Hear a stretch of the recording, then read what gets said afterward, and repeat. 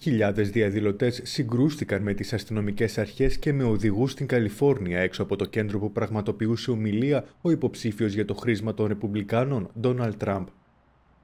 Τα πλήθη αρχικά μπλόκαραν αρκετούς δρόμους κοντά στο σημείο που μιλούσε ο Τραμπ, ενώ στην αρχή η πορεία φαινόταν να κυλά ομαλά, στη συνέχεια τα αίματα άναψαν με τους διαδηλωτές να βανδαλίζουν αστυνομικά οχήματα χωρίς να είναι σίγουρο αν μέσα βρίσκονταν αξιωματικοί.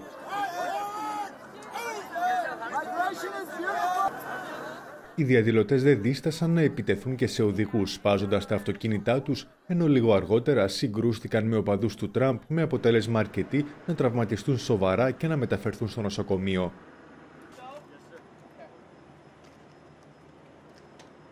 Οι αστυνομικές αρχές σχημάτισαν τείχος, θέτοντας μέχρι ποιο σημείο θα μπορούσαν να κινηθούν οι διαδηλωτές.